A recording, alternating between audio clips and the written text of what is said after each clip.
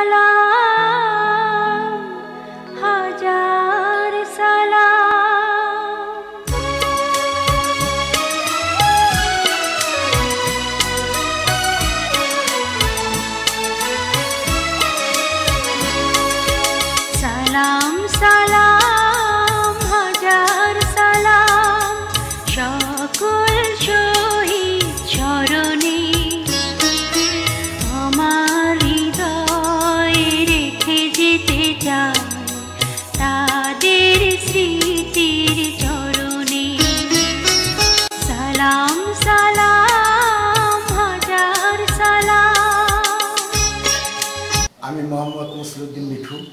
আমার আব্বার নাম শেখ রমজান আলী মুন্সি আমার মায়ের নাম বাহিরজান বেগম। আমার গ্রামের নাম Chaukighata post office Bangkhuri Hatipara union সদর উপজেলা। বর্তমান মানিকগঞ্জ জেলা। আমি হাটিপাড়া বহুমুখী উচ্চ বিদ্যালয়ে ক্লাস সেভেন পর্যন্ত লেখাপড়া করি। পরে আমি আমি ভৈরব চলে যাই। সেখানে ভৈরব ঝুট মিলে লেবার অফিসার ওই মিলে একটা চাকরি আমাকে ভৈরব হাজি আসমত স্কুল অ্যান্ড কলেজে ক্লাস এইটে ভর্তি করে দেন আমি সেখানে লেখাপড়া করি উনিশশো সত্তর সালে। ম্যাট্রিক পাস করছি বাহাত্তরে। আমি তখন ছাত্রলীগ এবং মিলে জাতীয় শ্রমিক লীগে আমি যোগদান করি এবং সেখানে আমি নেতৃত্ব যারা দিচ্ছেন তাদের সাথে আমিও মোটামুটিভাবে অগ্রণী ভূমিকা পালন করি। উনিশশো সত্তর সালে নির্বাচন জাতীয় জনক বঙ্গবন্ধু শেখ মুজিবুর রহমান সাহেবের দল আওয়ামী লীগ পাশ করে। আমাদের ক্ষমতা দিলেন না। আমরা সবাই আন্দোলন শুরু করে দিলাম বঙ্গবন্ধুর নির্দেশে এবং সাতই মার্চ বঙ্গবন্ধু শেখ মুজিবুর রহমান সাহেব বক্তৃতা দিলেন। আমি সেই দিন সেই রেসকোর্স ময়দানে ছিলাম। রেসকোর্স ময়দানে বঙ্গবন্ধু শেখ মুজিবুর রহমান সাহেব যখন ভাষণ দিলেন, এবারের সংগ্রাম, স্বাধীনতার সংগ্রাম, এবারের সংগ্রাম বাঙালি মুক্তির সংগ্রাম। যাক, তারপরে আমরা যার যার জায়গায় চলে গেলাম। বঙ্গবন্ধু ওদিন বলে দিল যে, অফিস আদালত চলবে না, আপনারা বেতন নিয়ে আসবেন, কেউ কাজ করবেন না। যারা সচেতন, তারা আমরা জায়গায় জায়গায় ট্রেনিং সেন্টার করলাম আমি ভৈরব থেকে অনেক কষ্টে চলে এসে আসি দেশে। এসে দেখলাম অনেকেই মুক্তিযুদ্ধের জন্য প্রস্তুতি নিতেছেন। আমার চকিঘাটা গ্রামটা হাটিপাড়া ইউনিয়নের মধ্যে খুব ছোট্ট একটি গ্রাম, কিন্তু পূর্বে থেকে এই গ্রামটা খুব শিক্ষিত ছিল এবং সচেতন ব্যক্তি ছিলেন আমাদের মুন্সিবাড়ির হাবিবুর রহমান হবি আর বরিশালার তন্ত্রখোলার আক্তার মিয়া।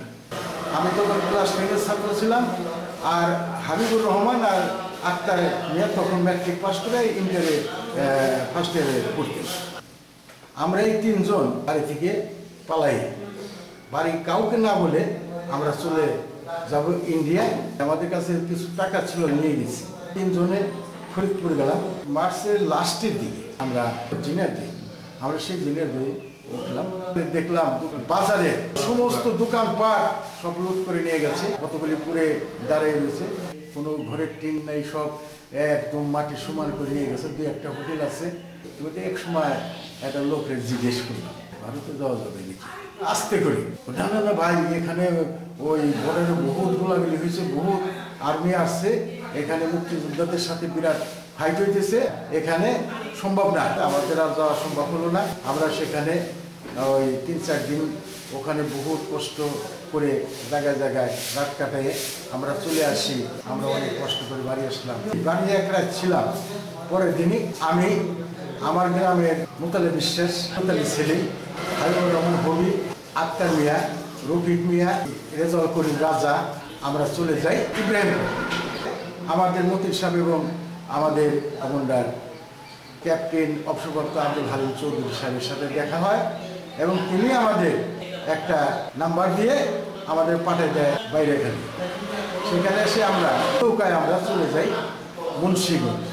মুন্সিগঞ্জ ওখানে ভৈরব নদী পার হয়ে আমরা চলে যাই হুমনা থানায়, হুমনা থানা থেকে প্রাণনগর হইয়া বাঙ্গারা বাজার দিয়ে আমরা কোর্টে চলে আমাদের লোক ছিল মুক্তিযোদ্ধাদের কাজ করতে, তারা তখন বলল যে, আপনি আজকে তো যাওয়া যাবে না, কালকে রাত সাতটাতে আটটার ভিতরে আপনাদের আমরা বর্ডার পোস্ট রাত্রে হঠাৎ করে রেল লাইন, তার নিচে ওই ছোটো ব্রিজ এই ব্রিজের নিচ দিয়ে পানি, আমাদের বলল আপনারা তাড়াতাড়ি যান।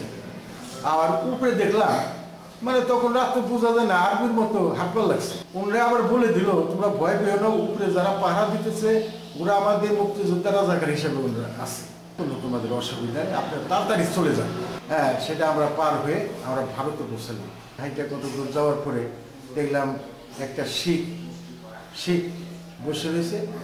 তারা আমাদের স্বাগতম জানাইলো। তো উনি বলল কি আপনারা গাড়িতে বসেন তারপর আমাদের গাড়িতে বসলাম। আমাদের নিয়ে গেলেন ওই বক্সনক ক্যাম্পে হোল্ডিং ক্যাম্পে। সেখান থেকে কিছুদিন পরে বোধহয় এ, মেলাঘর। সে মেলাঘর থেকে আমাদের পাঠায় হাতিমারা ট্রেনিং কিনতে ওখানে হঠাৎ করে আমাদের বলল না আপনাদের এখানে ট্রেনিং হবে না।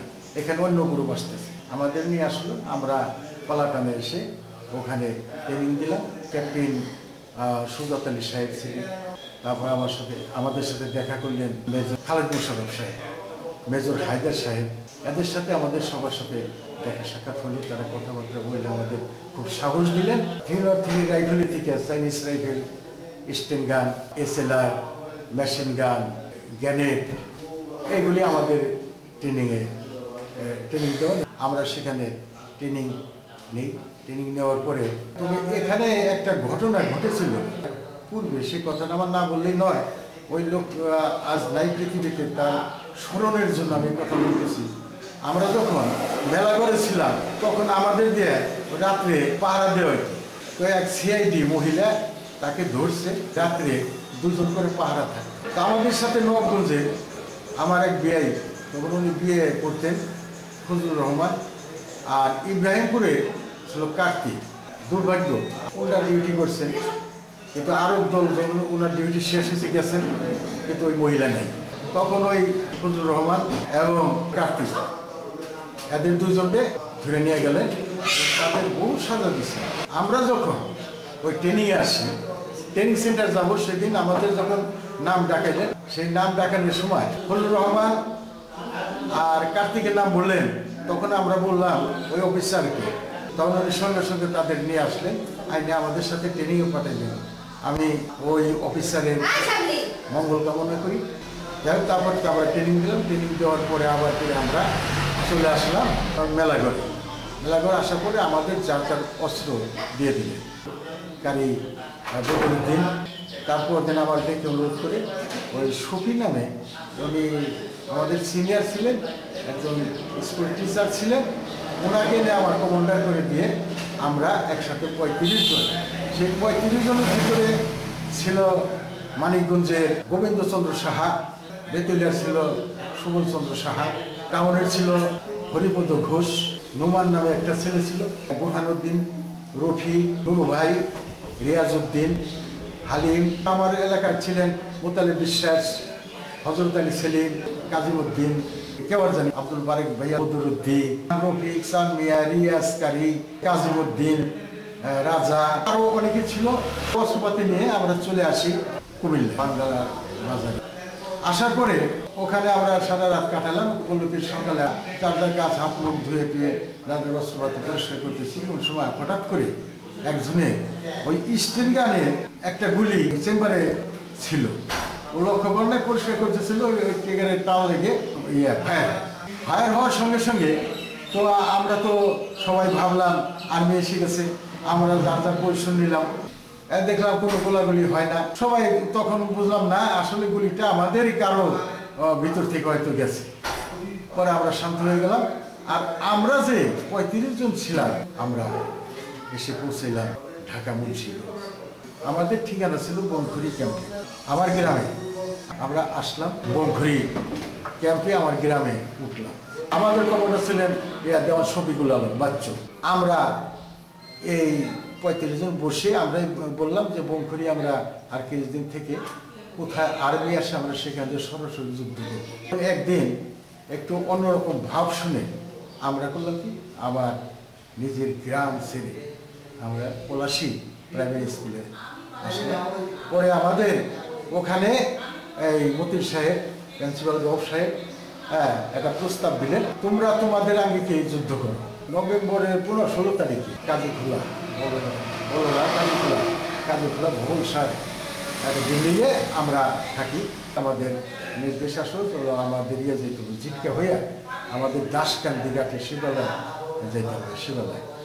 আমরা ওখানে গেলাম, ওখানে যাওয়ার পরে আমরা কয়েকদিন ওখানে থাকলাম, ওই আর্মি টার্মি পার হয়ে ওকে ধরতাম। একদিন আমি বারে বদরুদ্দিন, নোমান আর একজন জানি কে, আমার এই মুহূর্তে মন নেই। আমরা এই পাঁচজন, আমরা ওই নদীর পারে একটা পাহারা দিতেছিলাম। একজন বলল কি, বিশ, পঁচিশ জন আর্মি ওইটা পার হয়ে আসছে। তো আমরা এই পাঁচজন তাদের পিছু নিলাম। বারেক আমার বলছিল, আগে যুদ্ধ ফায়ার করিস না। তো আমরা যাই। আমরা ওই জায়গা থেকে ওরা চকের ভিতর হাঁটে, আমরা গ্রামের ভিতর হাঁটি। আমরাও ঠিক মতো পরিশ্রম নিতে পারতেছি না, আর ওরাও থামতেছে না। এইভাবে আমরা দাসকান্দির ঘাটে থেকে সকালে হইতে সন্ধ্যা পর্যন্ত ওদের পিছনে ঘুস্তা বান্তা পর্যন্ত আমরা আসছিলাম। তারপরে ওখানকার মুক্তিযোদ্ধা হাতে দিয়ে আমরা চলে যাই। যে এখানে পর্যাতে মাছ পাওয়া যায়, তো সকালে মাছ নিয়ে এসে সময় আমি হাঁটতে হাঁটতে গেলাম। যাওয়ার পর দেখি ওই দিকে যে আমাদের দুইটা ক্যাম্প ছিল ওখানে। এক লোক চেনার বাড়ির এদিকে, আর একটা ছিল ওই দিকে একটা বাড়ি দোতলা ঘর ছিল কেনের ঘর সেখানে। তারা দৌড়িয়ে আসতেছে। আমি, কি হয়েছে কি হয়েছে? কই ওই দিকে আর্মি আসছে আবার ফিরে আমার ওখানে যুদ্ধ লেগে গেল, বিরাট যুদ্ধ। অর্থাৎ আজানের সময় থেকে সেখানে বিরাট ফাইট ইন্ডিয়ান গ্রুপ বনাম পাকিস্তানি আর্মি ওরা তোলা দিয়ে নামছে, নামার পরে তখন নদীর সাইডে যে আমাদের বাংকার ছিল সেই বাংকারে ছিল আব্দুল বারে। আরও ওদের কে ছিল আমার অত মনে নাই। আমি ছিলাম ওই স্কুলের সাইডে যে রাস্তা রাস্তার সাইডে আমাকে রাজ্জাক ভাই আহ, রাজ্জাক সিদ্ধার নামে এক লোক। আরেক বারেক বাইরে ওখানে মরণ পরণ যুদ্ধ করতেছে। ইয়ার গুলি লাগল রাজ্জাকে। হ্যাঁ উনি কমন দিত। এবার যখন ই করছে তখন ওনার গুলি লাগছে। লাগার পর সেখান থেকে আমাকে একজন খবর দিল ওখানে যে মেশিন গান উঠে গেছে। ওখান থেকে আমি ওই আমার কাছে এসএল ছিল তখন। আমি এটা নিয়ে যাই যাই দেখি। ওখানে বাংকারের ভেতরে পাইলাম আমাদের বাড়িতে। আর নুরুনাকে আর মানে তিনজন। আর ওই বাংকারটা ছিল মাটির সমান মানে বালির ভিতরে। চার দিল ঠুসি গাছ ওখান থেকে বারেকরা যুদ্ধ করতেছে। তখন আমি গেলাম তখন বারেকের আরও শক্তি হইল। আমাদের এই যুদ্ধটা হলো ডিসেম্বরে, ডিসেম্বরের আট তারিখে। সেখানে ওই এলাকার আবু সাইদ চৌধুরী সাহেবের মামা বাড়ি, ওখানে ছিলেন কুব্বাত চেয়ারম্যানের বাড়ি। কুব্বাত চেয়ারম্যানের ভোর ওয়াইফের যে এত সাহস, আমরা যে মুক্তিযোদ্ধা ইন্ডিয়ার ট্রেনিং প্রাপ্ত আমাদের চেয়েও তার সাহসটা ছিল আমি দুঃখের সাথে বলব যে আমি আমার এই ইন্ডিয়ান গ্রুপের ভিতরে একসাথে ট্রেনিং করলাম। একসাথে যুদ্ধ করলাম, একসাথে বরণ পর কামড় দিলাম পাকিস্তানের বিরুদ্ধে। কিন্তু আমাদের, আমরা যারা এই লাল বই, কালা বই ইয়াজই অনেক কিছু হয়ে গেছি। কিন্তু এখনও আমাদের সাথে যে ছয়জন মুক্তিযোদ্ধা আজও তাদের কোনো নাম এখানে ওঠে নাই, এইবারও বোধ উঠবে না। আমার মনে ধারণা, কারণ যারা এখন ওখানে ওই কর্তৃত্ব করতেছে, তারা নিজেরাই হয়েছে আর কেউ হতে দিব না। যুদ্ধ তারাই করছে, আর কেউ করে নাই। এই হলো তার পরিস্থিতি। আমাদের গ্রামের একজন উদ্যতন দুজন কর্মকর্তা ছিলেন, আব্দুল খালেক সাহেব। এই খালেক সাহেবের সেখানে যুদ্ধ হয়, এই খালেক আজ পর্যন্ত গেজেট হতে পারে নাই। ওরই ভাই হাবিবুর রহমান আমাদের সাথে ইন্ডিয়া গেছে, আমাদের সাথে। একসাথে ট্রেনিং দিছি। ট্রেনিং দেওয়ার পরে ওর সিনিয়র ছিল, অর্থাৎ ইন্টারভিউ পড়তো, ওকে রেখে দিল অলিস অপারেটরের জন্য। সে অলিস অপারেটরের ট্রেনিং দেওয়া আসছে। কিন্তু আজও দুঃখজনকভাবে তারা দুইটা ভাই ভালো জায়গা থেকে যুদ্ধ অংশগ্রহণ করছে, একজনও গেজেট হয়নি আমি সবার কাছে অনুরোধ করব এবং বাংলাদেশ গভর্নমেন্টের কাছে অনুরোধ করব যে আমার এই চুকি চুকিঘাটা গ্রামে সত্যিকারের হাটিপাড়া ইউনিয়নে ইনকোয়ারি করে যদি দেখতো আসলে কারা মুক্তিযোদ্ধা ছিল, তাদের যাতে আমার মতো মুক্তিযোদ্ধা হতে পারে, আমার মতো একটা স্বীকৃতি পায়, আমি তাদের জন্য আমি সবাইকে অনুরোধ করব। আমি আজকে জননেত্রী বঙ্গবন্ধুর উত্তরস্বরী শেখ হাসিনার হাতকে শক্তিশালী করার জন্য সবাইকে অনুরোধ করব, আসুন আমরা এক তলে দাঁড়িয়ে দেশের উন্নয়ন করি, দেশের মানুষের ভাগ্যের উন্নয়ন করি। সত্যিকারের বাংলার মুক্তির ইতিহাসগুলো সত্যিকারভাবে মানুষের ভিতরে বলি এবং যাতে মানুষে এগুলো জানতে পারে, শিখতে পারে। আমি এক বর্তমান প্রজন্মের কাছে একটি অনুরোধ রাখব, সেটা হলো, আমরা যারা মুক্তিযোদ্ধা, আমাদের স্লোগান ছিল, জয় বাংলা, জয় বঙ্গবন্ধু। আমাদের স্লোগান এটা এটা মুক্তি সংগ্রামের স্লোগান। এই স্লোগান যারা মুক্তিযুদ্ধের পক্ষের শক্তি, তারাই এখন ব্যবহার করে। আমি সবাকে বলব এই স্লোগানে আমরা সবাই উদ্বুদ্ধ হয়ে আসুন। আমরা বাংলাদেশকে আজকে শোষণ মুক- মুক্ত, সত্যিকারের স্বাধীনতা যাতে প্রতিটি মানুষের দুয়ারে দুয়ারে ঘরে ঘরে পৌঁছে দিতে পারি, সেই কাজ করি